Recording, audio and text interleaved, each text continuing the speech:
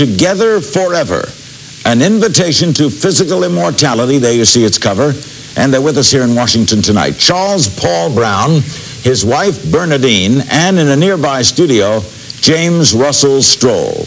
Later, the Reverend Jerry Falwell will join us live from his headquarters in Lynchburg, Virginia. How did this start, Charles? Well, it began for me, Larry, 20, no, 32 years ago, as a matter of fact.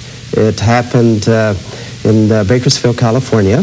What? I was not searching for physical immortality, but I experienced a cellular awakening, and uh, I, that's what I term it. I don't know whether that was it or not, but that's what I term it. And uh, from that point, it's like a new intelligence began to uh, flood my entire How body. did, how did it happen? I mean, How did it happen? along the street? Well, there was a catalyst. No, there was a catalyst to this. I'd heard of an individual in Los Angeles who was saying that the body didn't have to die. And like most people, I laughed. I laughed, oh no, because my program was that death was inevitable.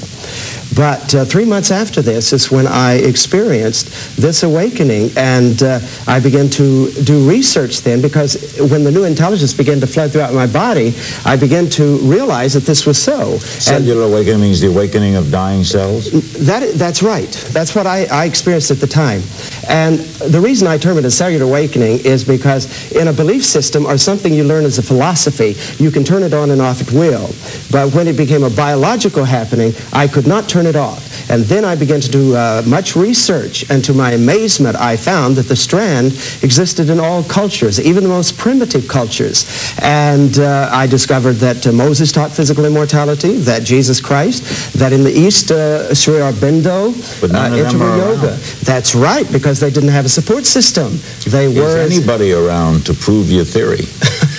I'm sure there isn't. Nobody. No, we would. Lincoln, I'd Lincoln's love. chief of staff isn't there. I'd love for them to be here, but it's going to happen. How does it work, Bernadeane?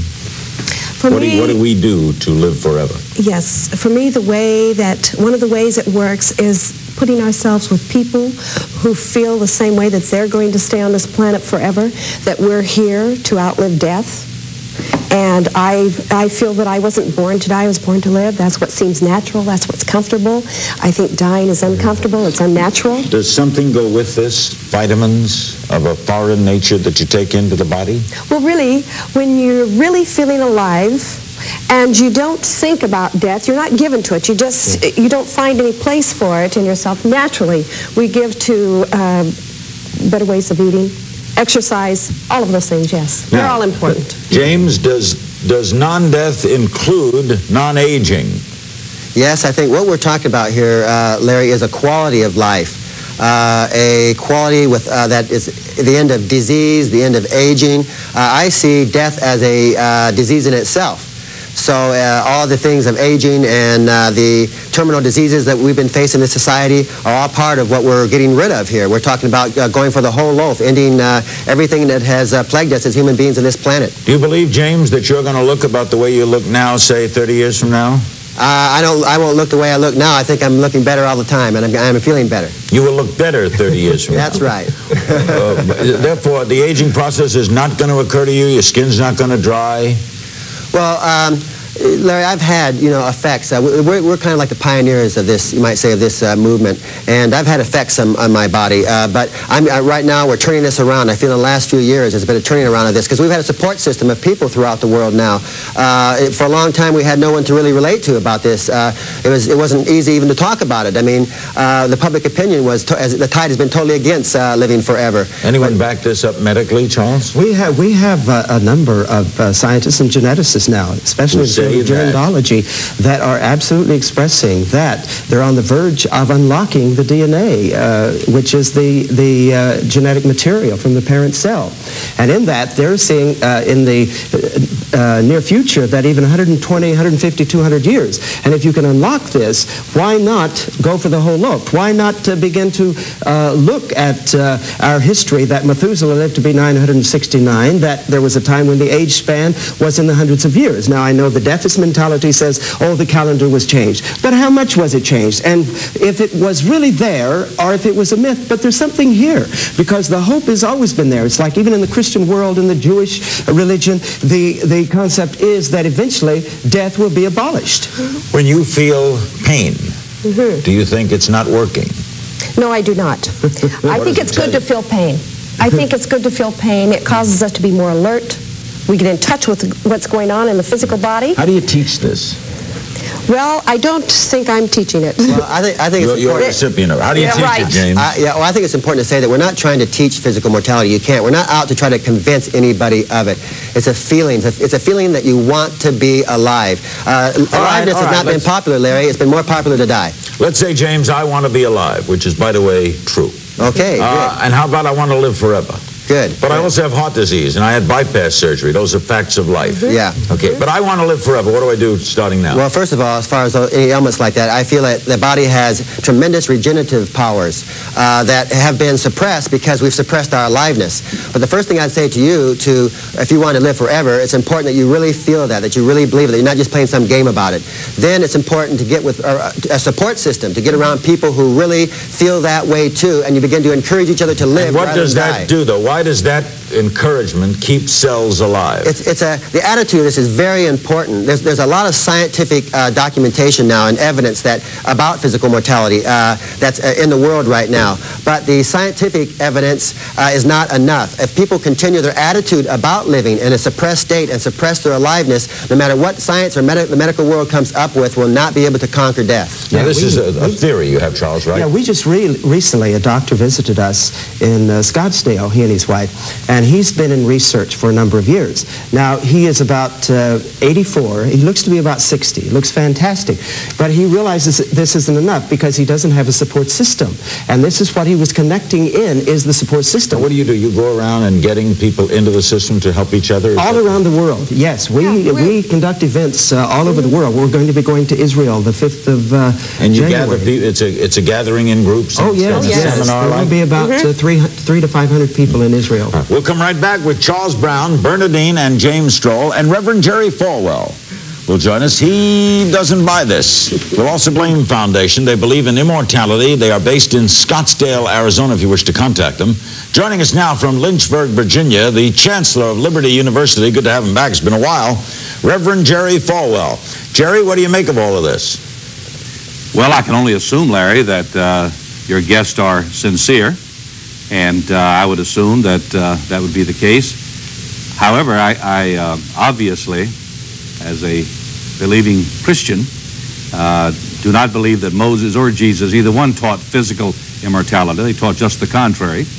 And I do not know of a religion in the world uh, that taught or teaches physical immortality. Now, it is a fact that as a Christian, the Bible says it's appointed to men, that's generic, men and women, once to die.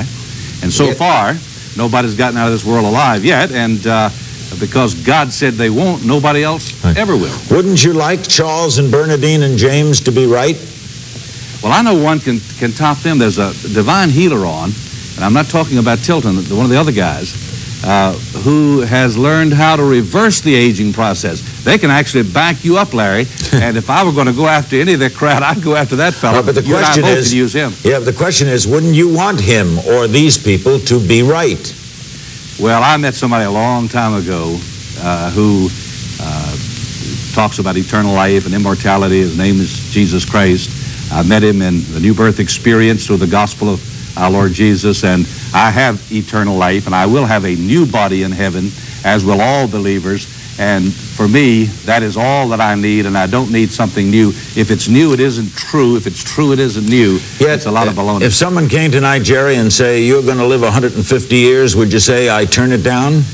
of course not. I, uh, right, then have we no- desire it, don't we? I think everybody wants to live as long as possible. Then what's wrong with one- people who say we can? because it's a farce and it's, it's misleading people. It is, uh, you know, it's the same thing as the, these divine healers who tell you that it isn't God's will for you ever to be ill, that God wants you to be well, and God wants you to be healthy and wealthy. That's a lot of malarkey. Uh, Charles? Uh, you were expressing about that uh, the Bible speaking, it's appointed unto man was to die. However, I only find it twice, and each time, the first time the psalmist David is writing in, in the book of Psalms 102, and he expresses that uh, the Lord would look down from the height of his sanctuary to hear the groaning of the prisoner and to loose those that are appointed to death. And that second time is in the, the New Testament, which is Hebrews 9.27, and it's, the, I, it's amazing to me how they take one one little verse out of context where it says, and as it is appointed unto man once to die, present tense, which if that was according to the fallen Adam, then, uh, then yes, man's present state of uh, condition was in a dying state. But then he says, and so Christ was once offered to bear the death. Now, I'm not into that. I'm not into Christianity in that sense. And yet I believe in Christ. But I cannot understand why this is hidden from the clergy and the religious uh, leaders Why do you think. Charles, no one has done it yet? That's because there hasn't been a support system. Even Jesus Christ didn't have a support system. It's Well, if amazing. Jesus, if Jesus didn't make it, uh, Larry, I don't feel badly agreeing with him and disagreeing with your guest. But he spoke of greater works that we would do, and uh, we feel that this is the greater works. It's not healing more sick, sick bodies, and it's not uh, saving more souls. It's bringing about a fullness, a wholeness of living here on the planet. And that's what we're about. We're here to bring about that which has never happened before. We're not afraid. We're not afraid to claim it and say it. We're doing it, and we're feeling better than we've ever felt in our bodies. And I think there's an expansion for all of humankind now to take place on this planet. We need to wake up more and find out that the physical body is not limited. We've we've considered ourselves in the past to be so limited. That day is over for me. I'm not buying that stuff anymore. I'm going for that which is unlimited, an expansion that's never existed before. Way to go, Hey, dude. Bernadeane. All right. James. Bernadeane, let me ask, let me right, ask ahead, Bernadeane something. Uh, Bernadeane, or, or the other two gentlemen, uh, do either of you own a life insurance policy? No, no, No, No. no, we do not. We don't. They buy it. Well, I just, I just want to be sure. how do you react to those who say that there might be a, a scance here, a bit of charlatanism? That uh, you go around the world and naturally people would come and give five, ten, fifteen dollars for a seminar to tell them how they're going to live forever. Well, like I said before, Larry, we aren't promising anything. We aren't promising physical mortality. Uh, what we're doing is giving, inviting people to live uh, in a way that they've uh, an opportunity that's never been before on this planet to begin to support each other. Uh, in being alive, and really, uh, my point as far as uh, that, you know, there's never been a real abundance of life before. There's, you can't put a seed. You, you can't put a seed in a barren ground and expect it to grow without water or just barren ground. This is what we're doing is, is supplying fertile ground for people to really live with each other, to give a support system for people to really thrive in. And this is this is what we're about. And this is why we're not we're not charlatans. Uh, we are real about what we're doing. We've written this book together forever. Jerry, is this to you anti-religious? This concept? Uh, I wouldn't. Uh, I wouldn't want to be that judgmental. I, I would say it's foolishness, but but uh, the medical world has to be smiling, and and I think everyone who has a vital relationship with God through Jesus Christ uh, certainly is smiling at this. But but if one of the three persons on your program were to die, I wonder what that would do to the religion that they espouse. or the sport group? What would it Well, do? the thing, what is so wonderful is because it is organic and it is a support system, of course it would be felt. It would definitely be felt.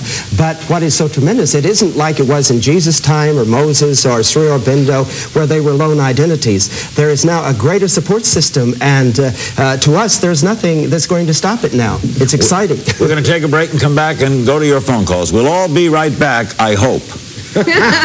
Don't go away. Sherry Fal- Jerry Falwell, Chancellor of Liberty University. And we're going to start going to your phone calls. Chico, California. Hello. Larry, you're looking good. Thank you. Um, I'm kind of interested, uh, same question that Falwell asked. What if one of you dies, a car accident or, uh, uh, Well, a car accident, of course, then that's that's not part of their theory. natural causes? What happens to the entire belief structure? Is it changed? Is it out the window? What happens? Yeah, again, being uh, to us, being physically immortal is not living in some decrepit state of being where the, the de- where there's a degeneration going on. It is a quality of life. Uh, also, when it comes to accidents, we feel that you can arrive at a place where you stop being an accident going somewhere to happen. They did a scientific uh, research some time back, and they discovered amazingly uh, in, in their research all the things that uh, uh, led up to a particular accident. They've discovered that it wasn't, a, wasn't an accident, it involved many different emotions. So to us as uh, human beings on the planet begin to wake up and to create a greater quality of life here, we're going to uh, have heaven on earth is how But we you could feel. get caught in an earthquake. Yes, you can get caught in an earthquake. Still outlive it, too. Yeah. Cocoa, Florida. Hello. Hi. Um, first, I'd like to say is I think these people are in denial, and also, why, if they think they're never going to get old, why do they look like they're getting old? I think they look pretty good. Uh, Bernadeane is 96. really? They didn't say they're not going to get old, right? You didn't say that. How old, how old are you, Charles? How old are you, Charles? I've been here for 57 years. 57. You're how old, Bernadeane? 54. And you're how old, James? I've been here 43 years. Okay. Uh, by the way, the, the, the concept of, of, of, of living forever, there are some who might say, James, why? Why do you want to live forever? With all the trouble that goes on, all your friends are going to be gone. Yeah, yeah. Well, we get a lot of people that say that, Larry. They'll say, uh, live forever. You know, I mean, so much uh, pain and uh, so much uh, sorrow that goes on, and and uh, and yet at the same time say it's also also very short. You know, very short lifespan, and um, so. But my my desire to live forever has to do with uh, I don't see death as being anything beautiful. Uh, I don't see it as a, uh, an af- I don't look for an afterlife. of Jerry, when you're sick- something that I want I want to really go for. Jerry, when you're sick, you take medicine to get better, right? Yes, sir. This afternoon, I took three Nuprin. I had okay, a that's headache. because you had a headache. You didn't want the headache. And I if I want it. gave you if I gave you a pill that would stop cancer, if God forbid you had cancer, you take that pill. Oh, I sure if you would. had a pill to stop cholesterol, you take that pill. I sure would. That's just to extend your life. That's right. There's no Sure. other reason for it, just to extend That's your right. life. You want to extend your life. I do, but the fact is, I know as I sit here that I'm not going to live in this body forever, and I'm not a prophet nor the son of a prophet. And I wish Charles and Jim and Bernadeane a wonderful new year, and many of them. But somebody will attend their funeral one day also, and I'm I want you to write that down. But Somebody if they, out there. If they believe they won't, it's not terrible, is it? Oh, I don't mind them saying it as long as everybody knows it's a lot of baloney. I think it's real important that we not be confused by the facts that have been. Yeah. Uh, we're here to change the facts. Yeah. Silver Spring, Maryland. Hello. Hi, Larry. I've got a very brief question, and I hope I get a very brief and to the point answer. My question is uh, I'd like to know, bottom line, what are the costs, uh, costs associated with joining this movement? Jim? Well, we have no membership for one thing, no formal membership. Uh, there's no cost for joining the movement. Uh, we do workshops around the around the What does country, a workshop throughout the world. Uh, we're having one uh, at the end of the month here, or the beginning of, of the first of uh, January, that will cost uh, thirty dollars for the weekend in Scottsdale, Arizona. In fact, that's one thing uh, a lot of people are really thrilled with in the way we move. We don't uh, charge such outrageous prices and so forth. And uh, certainly you have to charge for the concept of people gathering together. That's and right, this and in takes how long? This Absolutely. We have two. We have uh, usually two-day events around the world, and again, uh, when we go into uh, other countries, foreign countries, air travel and so forth, we do charge more. We do charge more. We charge it sometimes anywhere from fifty to hundred dollars. It depends on the venue. Tucson, Arizona. Hello. Yes, I have a quick question for Reverend Falwell. The uh, Old Testament in, in the book of Genesis shows a long life in many of the early uh, characters, whereas in the New Testament we talk about life being three score and ten. Can you explain scientifically the difference here between this uh, comparison? We've got a minute to the break, Jerry. Can you do it quickly? Uh, yes, very quickly. I, I believe that Methuselah lived 969 years by the same calendar that, by which we live today. Later, it went to 120 years, and now to 70. But in the days of Methuselah, God was populating the earth from Adam and Eve. When that was achieved, when the population of the earth had occurred, the number came down to 120 years, now to 70, all ordained of God. And uh, somebody 2,000 years ago, Bernadeane, did what you're trying to do now, and that is provide a better way and a way to live forever. But it's all in Christ and in the Spirit. And well, maybe he'll do it again. Yeah. Uh, we're gonna let's say let's take a break and come back with some more calls. Our guests are Reverend Jerry Falwell, Flame Foundation, and Reverend Jerry Falwell, Chancellor of Liberty University. And the caller is from Wayne, New Jersey. Hello. Uh, hi, Larry. Hi. Um, I'm not sure if I'm if there's a pun intended here or not, but I'd like to ask each one of your individual guests what each do they do for a living. What do you do, Bernadeane? I travel the world and speak about being here forever. Charles? Absolutely. James? That's my job. To Seattle. Hello. Hi, Larry. It's good to see you. Um, I was wondering, being a physician, I was wondering if um, what they believe is related to the 92% of the brain that we don't use. And having seen people die, uh, is it dependent upon non-destructive behavior, smoking, etc.? Yes, absolutely. And, and uh, human beings only using 10% of the brain. We, we use the term that the body is mind all over. And when the body begins to awaken on a cellular level, what transpires, it begins to stimulate the rest of the brain cells. So I don't think we're going to use all of those brain cells until we get the entire body alive. All right, but are you saying if you if you use yours and I use mine and we use ours together, Together. a cancer cell can't grow in us? Absolutely. There's Can't an grow energy. with us. There's right. an energy that begins to, to throw it off. The immune system begins to be strengthened. Mm-hmm. And we're, we're, we're, we're tapping into the global, the collective mind. And uh, it's so exciting. To Eugene, Oregon. Hello. Hey, Larry. Uh, my question is, don't you think it's a bit uh, dangerous and a little selfish to want to uh, stop people from dying? There's not going to be much room left. People quit dying, the population quadruple in a couple of years. You got no natural resources left, and there's not going to be much quality of life around for you guys to be enjoying your immortality. Bernadeane? Yes. First of all, we cannot stop people from dying. If they want to die, they're going to die. Uh, we're not trying to stop people from dying. We're just going with what we really feel about really living.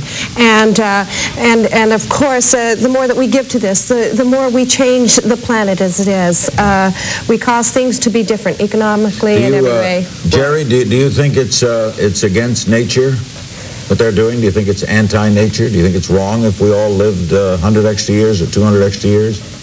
Well, it's a denial, as someone called in earlier, saying it's a den- denial of the reality of what life is all about. Uh, man was not intended to be here uh, forever in this physical body, on this physical earth. God has new heavens, new earth. That's what the death, burial, resurrection of Christ was all about. A new life. And that's life. what we want to find. We want to Well, find the new uh, world. But you won't. But you're not going to find it running around selling snake oil and new ideas. You're going to find it by coming to the cross amaz- of Christ amazingly- and receiving Him as your Lord and personal Savior. I did that. And down the road a little ways, down the road a little ways. Amazingly, when you get frustrated, Yeah. when you get your first cancer or have your first triple heart bypass or I mean when things just start caving in and they will and you suddenly realize hey I've been down the wrong rabbit trail come right on back to the cross he's waiting for you I've been down I've that been dark road of death. I've been down there, faced death face to face, and here I am today, better than ever. Yeah, and I thought I'd it like was to say, God's Jerry, plan Larry. for man to Yeah, live. Jim. Yeah, I'd like to say that back to the uh, individual's question in the beginning, uh, this is one of the big lies I too feel has been propagated, that there's never enough room on this planet. There's never enough uh, money for everybody. The reality is there's plenty of room and plenty of everything for everybody. It's just the distribution that's been off. It's been greedy people that have kept it, kept uh, as it held back and kept other people from sharing Liver- abundance. Livermore, California. Hello. Yeah, Larry, thanks for taking my question. Amen to you, Reverend Falwell. And I just want to ask you people something. Where do you get your money from, and how do I explain to a six-year-old girl who had cancer, brain, brain cancer, that it's because she didn't have enough faith or, or we didn't get together and get our energies together? And I didn't quite hear all that at the Well, last. how do you explain to a child who is dying that uh, maybe it's her fault she didn't get her energies together? It is not the child's No. fault. And uh, th- this is an area that the child, that's where in an environment, we're not saying that we have all the answers right now, but we know that collectively all the answers are coming. And that's Stock- what's exciting. Stockholm, Sweden. Hello. Yes, my question is to Reverend Farrell. Reverend, if these guys are proven right with the help of science, will this mean actually the end of a lot of established religions, including ours, Christianity? If these three persons were right, it would mean the end of everything that's good on the earth. Everyone who's called in has had a piece of correctness. Uh, overpopulation. Who would want to live 300 years with Me. petrified? I mean, it's. Uh, I want to live forever in a new body that only Christ can provide. And if what these people are preaching is correct, Christianity is vain. The Lord Jesus. That's that we should have do away with Christmas, do away with Easter, do away with all the religions. I think so God on. and They're not Jesus are very delighted with us. I think the Knoxville, work we're doing- Tennessee. Hello. Hello, I had a question for uh, you folks. I was Go ahead. wondering if your uh, diet has anything to do with your philosophy. Oh, sure. It's important to eat good, for sure. I mean, if you have any real feeling about your own body uh, and want to live, uh, the diet is very important. But like I said before, uh, diet won't determine diet. A proper diet won't determine you living forever. Glendale, Uh, so- Arizona. Hello. Glendale, Arizona. Hello. Glendale, Arizona. Goodbye. I thank you all very much, Bernadeane. Thank you. Thank you. Thanks. It's been a We'll keep in touch. We'll see the book. Yes. And uh, James, thanks so much.